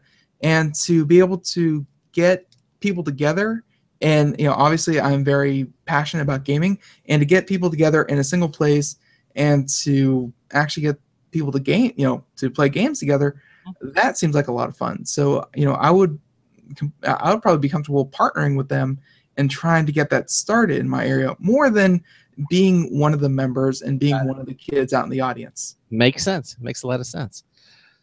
All right. Well, we've got a lot of more stories to cover, and uh, whoa, whoa wait we're done well, uh, was there something else that you wanted to talk? About? We spend days and then we spend two hours a day talking about apple keynotes and then we have three other correspondents on talking about their keynotes yes. oh my god you All right. can't, you can't even give me 20 minutes Okay. Well, absolutely. I, I thought we we've we've on 13 minutes about it. Let's talk. What else do you want to talk about? I mean, I, I found it interesting. Uh, I did not see the keynote myself, but uh, obviously, it is a a, a, a new i ring. don't watch the apple keynotes but i don't kick you off after 15 minutes talking about apple Uh, it- it's definitely a new wrinkle uh, into it. Uh, getting people to participate like that. Uh, certainly. Uh, what do you think of the price point affordable. I think it's affordable, uh, and I think it'll because it's affordable. I think uh, it'll uh, because remember, as you say, it's not technically what an Oculus Rift is. They, they're selling for ninety nine dollars. It's certainly going to be a lot of more people. Uh, it opens it up to a lot more uh, users. The ninety nine dollar price rate. However. Uh, as you say, it's not like an Oculus Rift. You don't expect to get that kind of thing when you move your head around. That's not this. This is like putting a screen in front of your eyes, uh, a very large one, or seeming to be a very large one, and uh, um, and and then work with the networks that you talked about. I think it's going. I think it'll be successful. I think it definitely has a market. yeah uh ho- hopefully it does this is again the fledgling this is the fledgling product like this is the the very first venture and you know looking back at any first release no tech company has ever got it 100% right you know no first release has ever been perfect. Mhm. sure we still talk about them and how great they were but at the same time you know there's always a generation 2 generation 3 generation 10 it's it's just going to happen. So with, with this first one they did have a key that they had a couple of people on. They actually had the lead developer of unreal engine. Mhm. You know, and he's been working on the unreal engine product for 20 years. And and he's talking about how excited he was for this whole platform and and how he can't wait for it to mature and see what game developers can really do. Because you know the the, the Oculus Connect 2 convention or not really convention but the uh, uh, the keynote was there for developers. Like like everyone in the audience was a developer in some capacity. So he was mentioning to everyone how they were you know they, they were, were they were they were at the beginning of this and in 20 years when they write when they write books about virtual reality and how it started and where it's been where it's going you know they're going to mention this exact moment this exact product and say hey i remember being there at the you know and listening to you know them announce this kind of thing. So obviously they have some big names who are very very excited about this finally coming to fruition. And I guess I'd be remiss if we moved on from the Oculus Rift without mentioning, of course, one video game out of you know out of everything we've talked about so far. And this one is a futuristic sci-fi um, first-person shooter that is called uh, Bullet Time. I, no, no, no, I'm sorry, Bullet Train. There we go. I'm sorry, Bullet Train. It's it's a sci-fi first-person shooter for the Oculus Touch. Now, for anyone out there, Oculus Touch, you get these two little semicircle hand hand gesture control kind of deals, mm-hmm. and you hold them out in front of you, and that's how you're going to be interacting with things in virtual reality. So it's obviously a little violent, you know, first person shooter. well, first person shooter. They, they, you know, there's no gore. You know, let, let, let's get down to it. There's you shoot people with guns, but there's no blood and you know, no nothing like that. But it's a futuristic, uh, futuristic sci-fi shooter, and again, this is in. Yes, he just grabbed a rocket out of the air and threw it back at the robot. But, um, all right, so realism may be out a little bit, but so it's 360 degrees though. So this is one of the first uh, games we're going to have where you're going to have to not only focus on what's in front of you, but also what's behind you, and you know what's to the left and right of you, what's above you. It's you know, this is from Epic Games by the way, which is a very uh, reputable you know company. So look forward to that. It's it's I'm sure just kind of a demo y kind of game. Don't expect it to win any kind of you know storyline rich storyline awards but at the same time it's just kind of showing off what the technology can do and what we can expect from this platform okay all right um by the way that that that that looks like the uh, aliens movie that uh oh i'm glad you noticed fox. Yeah. you know them. They make movies. Yes. is bringing more than 100 movies to the oculus vr cinema. That was what we were talking about, where you get kind of this big screen. You sit, you know, you of course sit in your home, but you strap you strap on your Oculus VR, and you you are virtually put into a movie theater. And this movie theater is going to have a giant screen, biggest you've ever seen. Of course, all a trick of the eye because you know to to you with a screen a couple inches from your from your eyes, these things look like 105 inch screens. You know they're absolutely massive. And being in virtual reality instead of augmented reality, you're going to be immersed. So VR cinema, uh, you'll be able to sit down, watch any of these movies, and they are, you know, Fox exclusives. You know, maybe even movies that Netflix and Hulu don't even have.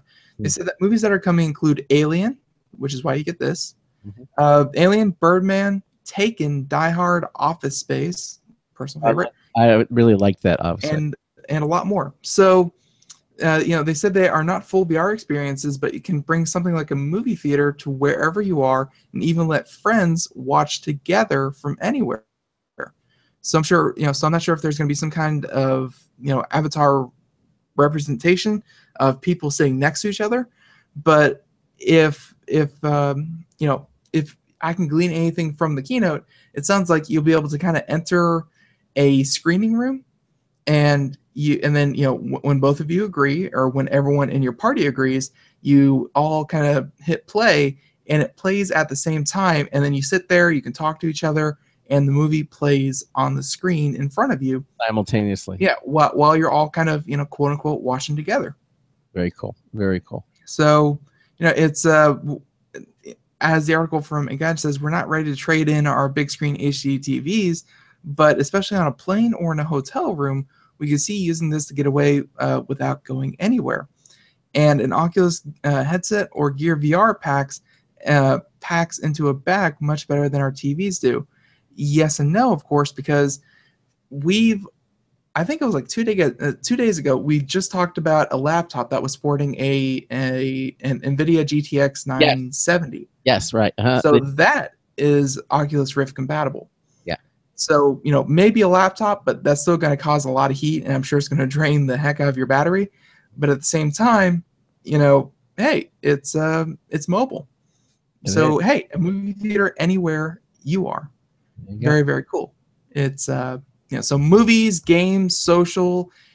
This is this is just the beginning of virtual reality. Of course, it's you know November, just a month and a half away. Can't wait. Wow. But just November, and we're going to see the very first products. And I'm sure by the time this time next year, we're going to have you know probably about half a dozen to a dozen different products on the market. And then that's when the fun begins because it starts building its base. People start developing for the platform, and then in the coming years, we're we're really going to start seeing what virtual reality is going to become. I mean, you know, maybe enough people are going to get motion sick, and it's just not going to catch on. It's going to be everything 3D TV was going to promise it was going to be, and then 3D TV died out. This could die out the very same, but it shows a lot of promise, and they're giving it more and more applications as time goes on.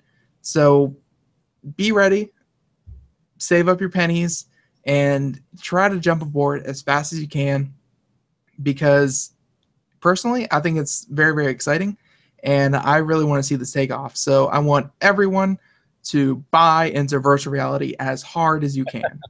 that's that that's my message. So if you didn't watch the keynote, definitely go watch it. It's available on twitch.tv for sure under the Oculus user profile. It's on YouTube. You can go to Engadget where they had a great write up and all these great articles with with related videos, of course. You can go to you know just about anywhere. Just Google it if you have to. But the keynote is definitely worth watching. It's new technology shown for the first time. All right, and there you go. All right. Uh, uh, thanks, Ben, for that. Um, No comment. nah, I've been commenting through it all of it. I think. Definitely watch it, and uh, it's obviously something worthwhile to watch. Oh, there's there was a there was a Schwarzenegger in the uh, what was that movie? Um, uh, anyhow, Alien. Alien, no, no, not Alien. Uh, Predator. Predator. Predator. Yeah, exactly. All right. Well, moving right along. Uh, this next story from uh, Maximum PCs, Paul Lilly. Uh, Mozilla wants you to test tracking protection in Firefox 42 beta. Um, according to this, uh, you're one step closer to being invisible on the web. Okay. Now, obviously, there's certain websites you might not want others to know you visit, whether it's shopping for a surprise gift, uh, signing up for Justin Bieber's fan club, or more realistically, you know, looking at porn. Uh, whatever you do All on, right. on the web is your business, except that websites try to make it their business too. You see? Websites actually make a lot of money. Uh, well, they, they they really want to discover where you know what what website were you just going to, and what website uh you know what website you're on, and then what website you go to next, because that kind of leads them to you know that that gives them very important analytics about just who maybe their competition is, or just who their partner should be, or things like that. And you know, hey, as as people, sometimes you really don't want other people to know, you know that hey i just came from this website that's you know not too kid friendly and now i'm on cnn.com it's like that really has no relevance to anything Well, that's where private browsing modes come into play. You know, uh, you can you can set your uh, to private browsing. However, taking it a step further, uh, Firefox 42 beta adds tracking protection to the mix. Uh, one of several experimental features it wants you to try out. See, Mozilla's theory is that users have a greater expectation of privacy when using private browsing in Firefox. It says users have provided feedback to support this notion, and so it created a feature in Firefox private browsing mode that blocks certain page elements. Uh, most websites rely on many different third parties companies that are separate from the site you're visiting uh, to provide analytics, social network buttons, and display advertising. These third parties sometimes include page elements that could record your browsing activity to create profiles about you across multiple sites. And private browsing with tracking protection in Firefox beta blocks some of those page elements. Okay, that's according to Mozilla. Um, for, Firefox 42 beta is the only mainstream browser that protects users from website tracking in such a manner. So if you want to give it a go, you can install the beta, click the menu button, and click the new private window icon to launch a private browsing section session. A control center screen should appear that conform, confirms tracking protection is now on. Just surf the web you as you would normally at this point. And to disable it on a specific website, click the shield icon on the left side of the URL bar. This brings up the aforementioned control center where you can choose display protection for this session. So there it is again. It's still in beta, obviously, but uh, yet another another uh, uh, feature. See, a, a company like Mozilla, I think, would be the best company to really do this because Mozilla isn't really in the business of selling advertising. No. Whereas Google, they're totally in that business. So if you use Chrome, you can be sure that even if you have, you know, private browsing or, or, or any other kind of semblance of that, that just keeps your computer that you're browsing from from storing that kind, you know, from storing those cookies and storing that kind of information. But you can be dang sure that all that information that you know, even in private browsing or anything like that, all that data is being sent to Google, who's who's being run through a giant machine, and they are pulling analytics from everything. There's no such thing as private browsing on Microsoft Edge. There's no such thing as private browsing on uh, Google Chrome, on Safari. All these big, big, big companies, they really want that data, and they're going to get it. And you know, private browsing doesn't mean the same to them as it does to something like Mozilla, because I think Mozilla you know gets a lot of their money from venture capital and donations and things like that but they're really independent from their advertising. So you know good to see that mozilla they've kind of been struggling i think in the modern browser era because their their market share has been waning. Because i think they kind of lost sight of you know just what their purpose should be you know what is the purpose of of mozilla because an easy to use and uh, an easy to use browser that you can show a lot of great content on. I mean, that's every modern browser nowadays. But I think if Mozilla keeps going going this way and going with, hey, we're the secure browser, then I think Mozilla is going to see you know some of their market share reclaimed. Yeah, uh, because a lot of it has, has gone to. But, you know, but Mozilla Firefox is still a major one of the major players. They're still one, but they've but they haven't been increasing. They've been decreasing. Decreasing to whom? To Chrome and of course, uh, I mean, uh, Mozilla Firefox at one point had about forty percent of of the whole browser market share, and then Chrome came uh, and then Chrome came on, and you know, Internet Explorer is what it is, and even Internet, uh, I'm sorry, uh, Microsoft Edge, the Edge browser has made some headway, and I think Mozilla's down to about twenty percent now. Like they're they're half of what they used to be. Well, they can't be happy about that.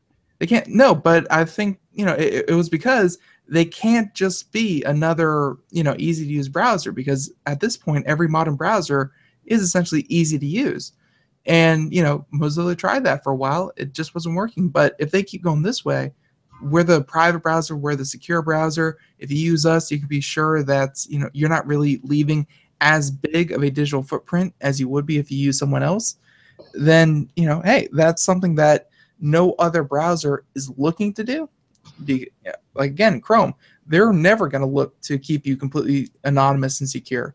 All right, you're listening to the Computer America Show. We'll be right back with more. Don't go anywhere. Hi, this is Craig Crossman, host of the Computer America Show. You have important meetings to schedule. Your company's getting ready for its IPO, and you're in charge of the PTA fundraiser this month. So, how do you coordinate everyone to be available at the same time? Are you still using emails, phone calls, even text messages to schedule meetings with a group of people? How's that working out for you? That's so great, huh? It's a fact that every day, millions of people suffer from scheduling headaches. Well, with Doodle, scheduling meetings with a group of people is quick and easy. With Doodle, you can easily propose available times to each member. Each one checks off the times that they are available, and then you simply pick the time that works best for the group, all in an easy to read display that integrates with your existing calendar. Nothing could be more simple. Give Doodle a try for free, and like millions of Doodle users, you'll truly see how easy it is to find the perfect date and time for all your meetings. That's www.doodle.com. Looking for a best friend? Brother Wolf Animal Rescue has your best friend waiting just for you. The mission of Brother Wolf Animal Rescue is to help build a sustainable, no kill community where no dogs or cats are ever killed for population control, where true euthanasia is reserved only for animals who are irremediably suffering or for animals who are truly a threat to society and with no hope of rehabilitation. Brother Wolf staff and volunteers go door to door, neighborhood by neighborhood, to educate citizens about local resources available for at risk pets and to help their families connect with those resources. Brother Wolf's community based approach to no kill helps keep family pets healthy. Happy and in their homes and out of the local shelter system in the first place. For more information or to make a tax deductible donation to this wonderful 501c3 organization, visit their website at www.bwar.org. Help to realize Brother Wolf's vision when no animal is euthanized for lack of a home. Who's a good boy?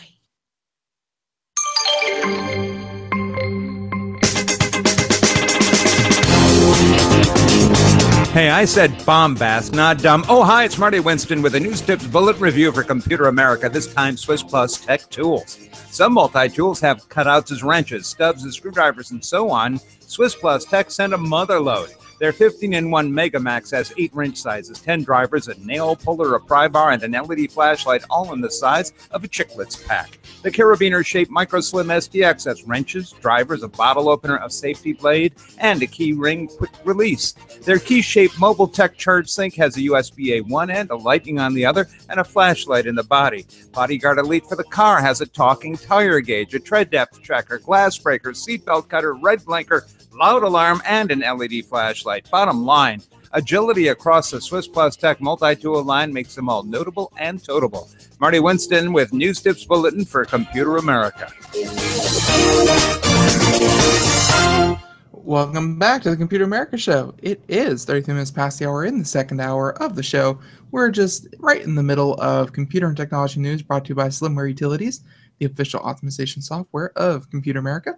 And yeah, you know, uh, Craig just, uh, well, you know, we were just doing this article about Mozilla and their new beta 42 and how Firefox, they're hoping to become the most secure and private browser out there. Yes, exactly. But I think we finished with the story.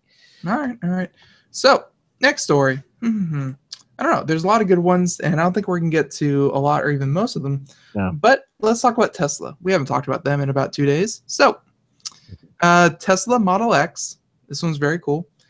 Uh, is going to in 2016. Will be launching. Yes, you heard right. We'll be launching with gull wing door. Uh, I'm sorry, falcon wing doors Yes. not going falcon wing doors so and and also electric all-wheel drive you can see the picture here the little silhouette of their announcement and Well, the Falcon Wing doors, and we heard this from Mike Cermak, it kind of explained it, as opposed to Gull Wing doors. Uh, Gull Wing, uh, Falcon Wing doors literally open almost. I mean, they they they raise up, but they don't require. You could be close to a wall and still open the the door. Whereas the Gull Wing, if you were parked near a wall, you couldn't open it; it would hit the wall because it it kind of swivels out. Gull Wings kind of lift up and go in, so they don't. well at the same time if you're parking that close to a wall you probably can't get out Yeah, so, I mean, as an example, you know what, what the difference between the t- between the two. They look Right. similar, but they're they're a little different. But anyway, Right. they're very sexy looking. Uh, yeah, they, they really are. So, yeah, uh, next week Tesla will finally take covers off its much anticipated Model X, the SUV follow up to its all electric Model S sedan. So, before the California automaker reveals its specification, however, there's much we already know or can infer. So, yeah, the uh, the Model X uses similar architecture to the Model S. So, most importantly, the two models share the electric drivetrain and chassis on which their bodies rest. Very important in case you know the the production needs to go up on either one of these, and hopefully they do. It wouldn't be that it wouldn't be that hard for the company to start producing them in bulk, you know, either or. So, uh, though they they said that uh, with the Model X, Tesla wants to give its customers a roomy vehicle with wet weather capability and a high and a high riding position for a commanding view of the road. Uh, Tesla maintains its placeholder page for the Model X on its website, noting that the car will be a seven seat SUV. So, two in the front, three in the middle, And two in the Three back. No, two in the back. I don't Yeah, know. yeah. Se- uh, no, no, no. Oh, wait. Two in the front, two in the middle, three in the back. That that has to be what it is. That that has to be what it is. So seven seat sedan, or I'm sorry, seven seat uh, SUV with the Model X, and you know they even have a front view of this thing, and it looks like a very very nice SUV. I mean, very sleek, sharp edges. Uh, you know, nothing nothing you can really fault here. But I think the fun part is, of course, going to be the the gold. I'm sorry, the Falcon. I keep wanting to say gold wing. I don't know why. The Falcon wing doors, Mhm. and they have a picture here of someone using them. And if and if you could, now a traditional SUV van kind of deal, they either had you know kind of you you open the door and you either had to push the seat forward and kind of fold the chair up so you can climb in the back, or you had um, you have these doors that would kind of pop out and slide back and you know left more room whereas now if you can see in the picture you're going to be able to climb into the far back just by opening up these doors Yeah. It looks very it looks very very cool. Uh look, you can see how how the the guy is in the chair behind there. You have a lot of you ha- you have total access to the car. right Yeah. right Yeah. Ju- just just from that one uh you know vertical opening door Mhm. so yeah and you know just kind of going through some of kind of going some of the different things exactly. yeah, yeah, yeah just going over some of the different things the huge center console and things like that but yeah Exactly. you know, just uh, mo- the model x will be coming out in a little bit Okay. Uh, and I can't wait to you know start seeing. I I have yet to see a Model S, but I can't wait to see a Model X either. did you see the 17 inch touch panel uh, on the on the control panel? It looks really really slick too. Oh yeah, no, huge, huge. huge, exactly. All right, so uh, um, those for you Tesla enthusiasts, that's uh, something you might like to hear a little more. I want to move over to Maximum PCs again. Paul Lilly uh, did this story on Turtle Beach. Uh, targets gamers of every platform and with their Recon 50 series uh, headset. Uh, they're claiming low frills and a low price headset. Um, now, uh, Turtle Beach is getting ready to announce their Ear Force Recon 50 series, which is a new line of its headsets for PC, uh, uh, Xbox One, they have the Recon 50X, and the PlayStation 4, which is the Recon 50P. Okay. Um, Turtle Beach didn't go out all out with its new Recon 50 line. Instead, this is a budget headset with a $40 MSRP price tag and lightweight design. 40 bucks for this thing. I, I'm looking at it, this picture. I thought this thing would like be 80 $90. It's got a really nice look to it. 40 bucks for this thing. That's MSRP. See, I I would. Turtle Beach unfortunately has a pretty bad re- reputation nowadays. oh, really? Um, yeah, I, I I'm not going to say that it's completely in the gar. it- It's, it's completely bad, but Turtle Beach at one point they were industry leading. They were you know amazing headsets to have for your computer, and then I don't know what hap- happened, but around the time that the Xbox 360 came out, um, you know they their their quality just dropped tremendously, and they had you know for comparable prices they had terrible sound. Their their stuff you know especially their wireless options would disconnect and would drop all the time. Hmm. was not a very good experience for anyone. And you know i guess recon 50 maybe just maybe might be what they need to you know kind of get some some of that some of their customers back. But I don't know that just even to this day that their higher end models don't get very good reviews. Well, this seems to have got a review. It says uh, the they're inside the ear cups. They got 40 millimeter neodymium uh, uh, uh, demium uh, speakers drivers, uh, and uh, they have uh, while the synthetic light leather wrapped ear cups provide improved bass and noise isolation. So, um, eh, although in the article it says they're they're a bit skeptical of Turtle Beach's claims because at the forty dollar retail. Uh, the Recon 50 also has an adjustable high sensitivity boom mic uh, which is non-removable, along with inline controls with mic, mute, and master volume buttons. Um, and though it's pitched at PC gamers, the Recon 50 can plug into any system with a 3.5 millimeter audio jack, be it a tablet, smartphone, and so forth. So there it is. They're getting ready to uh, launch with this uh, headset tomorrow, along with the iPhone. There you go. What do you think? Um, if it go by looks, it looks great. But you know, then again, uh, See, I don't even think it looks great because I've I've seen a lot of different headsets, and if you look here, they have these plastic parts where you expand and contract them. yeah, I see it. and you know i've i've had other headsets that have plastic uh adjustable you know the, the headband part Mhm. and i gotta say after you go metal those plastic they they crack they snap you you drop them too too sharply you man you know you kind of mishandle them and those things kind of crack on you Uh-huh. Well, uh, so i, I you know I think we should have them on the show to talk about their their their stuff because you know lately their quality has been suffering, and I don't think this is the one that's going to save them. Okay. Well, um, I can't argue with you. I mean, I certainly understand about the uh, plastic not being as as uh, as rugged as metal. So, um, anyway, they were coming out with it tomorrow, so we would mention it. Okay, then. All right. So next story. Uh, we're going to talk about this one, and this is a great day to be. Well, every day is a great day to be human, but this is a, an especially great time for this gentleman. And although it's yes, it's just research. Yes, it's just an experiment, but hey, he was able to do it for the first time. So a paraplegic has walked without a robotic suit. Wow. So this one from Engadget as well. But for everyone out there, uh, we've been doing a lot of stories lately about medical technology and how exoskeletons and different things, they, you know, this whole new thing where science science is getting accurate enough that you can actually uh, hook technology to spinal cords and to the brain, actually get them to be controlled just by thought instead of having a separate controller or or, or a computer to, to control them, but to actually think about it. And then the like we just did one about a prosthetic hand that was able to open close on its own, like that, and, and that was very incredible.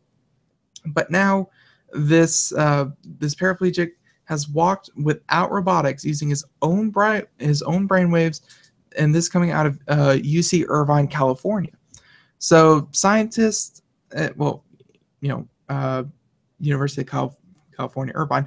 But anyway, scientists used a computer to link the 28 year old Adam Fritz's brain to his legs over a Bluetooth connection, bypassing the severed region of his spinal cord.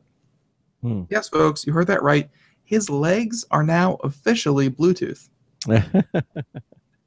And that's very cool. So, an EEG then picked up signals from his brain, which were relayed by a brain control interface. I don't know why they need to shorten that to BCI, but they did. A computer to electrodes on his knees, triggering walking movements. Though Fritz was supposed uh, was supported and only walked haltingly for 12 feet, the research is being heralded as a milestone. So far, paralyzed patients have only been able to walk using suits like the Ekso Bionics, which was, uh, you know, actually, didn't we have the Ekso on Uh, we, we show? we did a story about them. We did a news story.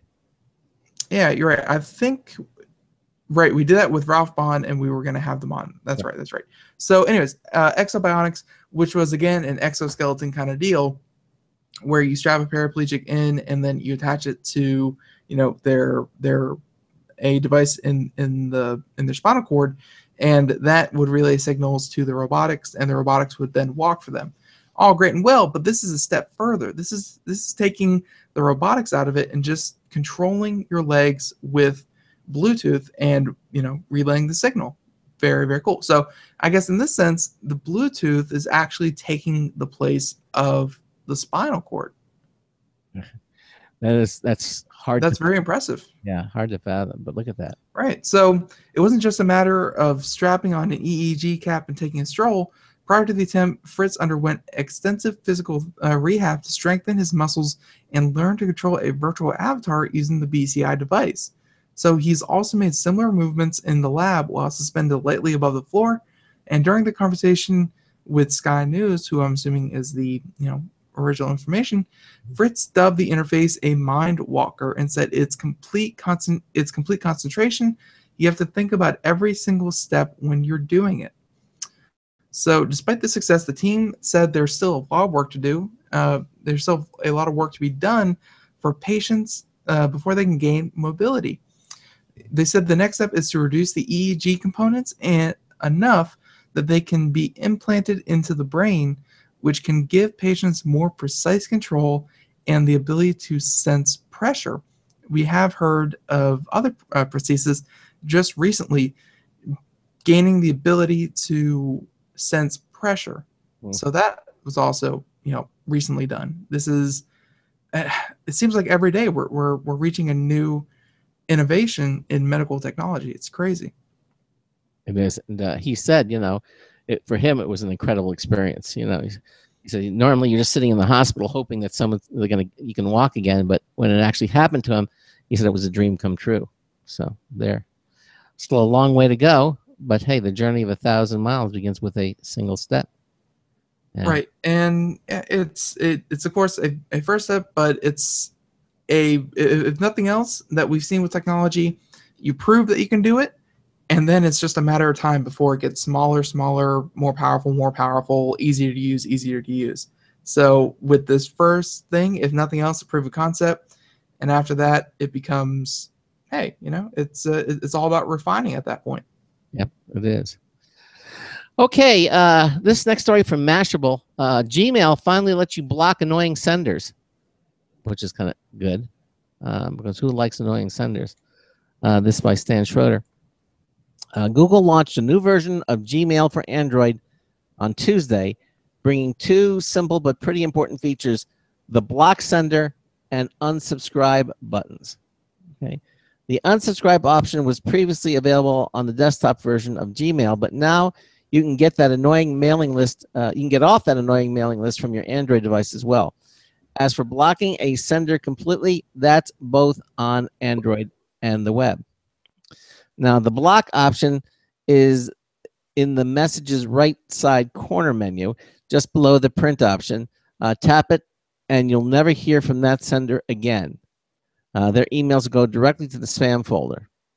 Now, if you want to unblock someone, you can do so in Gmail settings. Unsubscribe is located in the app's top right corner menu uh, while you're viewing it, uh, viewing a message, and below the mark important option. Okay. Uh, and basically, they give a demonstration of how it works. Uh, both features will be gradually rolling out to users, with the block coming to the web in one to three days, while both options could take longer than three days to appear on Android. So, just something, uh, something uh, keeps gives you more control over your email. Very cool. All right, so this next story, uh, Lenovo. They are in the news again, but not in a good way, unfortunately. They've been slapped in the wrist for this before. They're going to be slapped in the wrist for this again. And I'm sure a lot of people out there who actively go and fix and clean bloatware off of computers for your friends and family uh, expect this from Lenovo. They have been caught installing spyware on its machines again. No, not again. again that's that's the operative word. So of course uh, despite launching a number of interesting products this year lenovo has perhaps got more press time for the things it's done wrong. So it's a chinese technology conglomerate and this time it's allegedly installing a program on at least some of its refurbished notebook lineup that is pro- that is programmed to send users feedback data to lenovo so, upon further inspection, the program seems to have an association with a third party marketing and web analytics firm. Hmm. So, as, as per many users report, the company ships its factory refurbished laptops with a program called Lenovo Customer Feedback Program 64 that is scheduled to run every day. According to its description, Lenovo Customer Feedback Program 64 uploads customer and feedback program data to Lenovo. Right. So, upon further digging, uh, a, a gentleman called Michael Horowitz of Computerworld found that these files that these files in the folder of the aforementioned program uh, lenovo.tvt.customerfeedbackagent.exe.config, uh, they said that they had a DLL and and uh, they had two files. It said that it was uh, customer feedback innovation apps and customer feedback Omniture site catalyst. So as you for as you, as you further point out, Omniture, as mentioned in the suffix of one of the file names, is a marketing and web analytics firm, which suggests that the laptops are tracking and monitoring users' activities. Hmm. That's Yep. not- So on its support site, the noted that it may include software components that communicate with servers on the internet, and these applications could be on any and every think ThinkCentre, ThinkStation, and ThinkPad lineups. So one of the application lists listed in the, in the website is, of course, uh, Lenovo.tvt uh, customer feedback.agent.exe.config. So this isn't the first time Lenovo's been caught. And they even, uh, if, if you remember, they were recently in the news this year for a spyware called Superfish Yeah. on its machines. So the company was caught covertly downloading and installing software on Windows PCs. And of course, the program modified the BIOS to force the computer to download its program upon each login. Mm. So, Lenovo, if you purchase a Lenovo, uh, especially it sounds like a refurbished Lenovo, be sure to maybe take any unnecessary pro. I mean, we recommend that to, to begin with. Whenever you get a new PC, there are things you know you will never use, and sometimes there's well, a lot of times, if it's a pre-made computer, there is undoubtedly going to be bloatware, which was of course paid for to be on there, and you just have to know how to take it off and distinguish what is important and what is not. Hmm. Well, you know, we have time maybe for one more story here, and I'm kind of torn between which one I want to do, but uh, I think I'm just going to go with this cool one from Popular Science. Uh, a towering 3D printer that builds clay homes. Clay homes. Well, yeah, and as uh, as they say, uh, clay homes are as old as dirt, and older if you count those made by insects. This doesn't mean that an ancient technique can't get a thoroughly modern makeover and the world's advanced saving project or wasp uh, the, wasp after the anthropod anthropod must nest builders has a giant machine that can 3d print a home out of cheap durable mud. And i'm watching the videos here. It's amazing. Uh, so demonstrated uh, last week as a as part of a three-day reality of dream rally the printer named big delta is intended to inspire the creation of low-cost housing made to meet the needs of the world's impoverished. Uh, besides clay, the printer uses straw, dirt, mud, and water found on site, creating an effect not unlike Adobe. Uh, Earth isn't the only place where people want 3D print housing from local materials. There are architects who want to do the same thing on the moon, which makes sense because then you wouldn't have to carry all the materials with you. You just use what you find there. Uh, it's impressive, but the real test of mechanical building is if it's faster at building houses than a brick laying robot. And uh, so I don't think they're comparing them side by side. But basically, uh, this is very cool because, uh, you know, you can go to impoverished areas um, or even in space exploration. You wouldn't have to carry the material with you. You just use the materials wherever you go and, and build build a home or build a, build a place that, uh, that you can reside. I feel like you would have to build this into some sort of mobile platform Mhm. because I can't really see going into impoverished area- areas and setting up a bunch of 40 foot scaffolding like material. Mhm. And then, of course, all the heavy machinery that goes within the scaffolding. So I would like to see, and this is just, you know, me being picky, I would like to see this kind of thing set up on a giant trailer bed, truck bed kind of deal. Mm. And yes, it's 40 foot, but I've seen cranes. They they know how to make things tall and portable. Yeah. And you know, try set it up so that you could move it from area to area and it just kind of, you know, poops out homes, Yeah. I guess. Uh, I guess it does. exactly. I think you have time for one more story, Ben. Oh yeah, the way you're going. All right. So, uh next story we're going to do is all right, this one is a little controversial, and hopefully we have time for it. But uh, for anyone out there, you know that song. It's been stuck in your head for the last, you know, eight months. It's all about that bass. Oh It's all about that bass. That eh, okay. So that, uh, if, if we sing anymore, we have to pay royalties. So, Mhm. uh, but about the royalties, songwriter says he made only five thousand six hundred and seventy nine dollars from one hundred and seventy eight million Pandora streams. Wow. Five grand for 178 million streams. So this was, uh, I believe, taken to court, and this and this was done by a gentleman. Uh, hmm, let's see. Kevin the, the the artist is Meghan Trainor, and she co-wrote this with someone else. Uh, trying to find this this uh, gentleman's name. Kevin Kadish. That's it. So, and he co-wrote it with her. And according to this article, saying that he he recently filed a a lawsuit against you know the powers that be, saying that he made about thirty two dollars for every one million streams of his song that he co-wrote. So he didn't. Uh, uh, Kadish didn't clarify to the roundtable's five members of the House of Representatives exactly how the songwriter proceeds were split between himself and Trainor, but he did allege that the that the average streaming service payout for a song uh, for a song songwriting team is roughly ninety dollars per million streams. So Yeah. obviously, if you're a songwriter, don't expect to make your living from streaming music. Mm. So that's uh, that's as big a song as a songwriter can have in their career, and number one in 78 countries. But you're only making fifty six hundred dollars off of essentially what could be your biggest song. So this one is, is a little more complicated, and we really don't have time to get into it.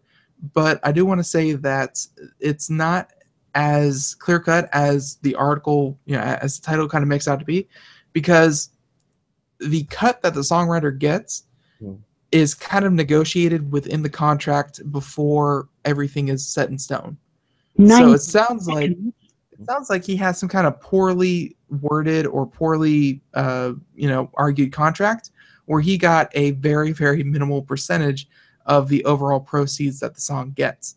Yeah. So it sounds like he he got worked over by a bad contract and now he's trying to go back and you know kind of take it up to the court level and saying that hey I, you know here's my songwriter equality act and Six songwriters seconds. deserve more no matter what Well, that wraps up the show for t- today. Uh, again, thanks to our guest from Stitcher, Stitch in the first hour. And um, tomorrow, it's Friday, and we've got Nathan Evans, managing editor of Popzara magazine. Great guy, all kinds of fun topics. We're kind of all over the road, uh, and that's what Nathan Evans does with us.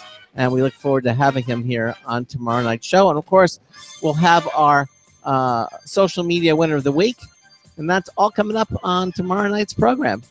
So that wraps up the show, and Ben and I will see you here, same time, same station. So until tomorrow night, this is Craig Crossman, hoping that your hard disk never becomes floppy. We'll see you tomorrow afternoon. Ten seconds. They didn't hear you say goodnight, everyone. You're muted.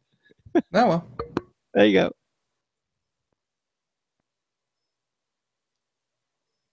Thank you for using Blog Talk Radio. Goodbye. Okay, everybody. Again, thanks for watching, and uh, hopefully you got your entry in for uh, our contest tomorrow, tomorrow afternoon. And Ben and I will see you tomorrow. Take care. Bye bye.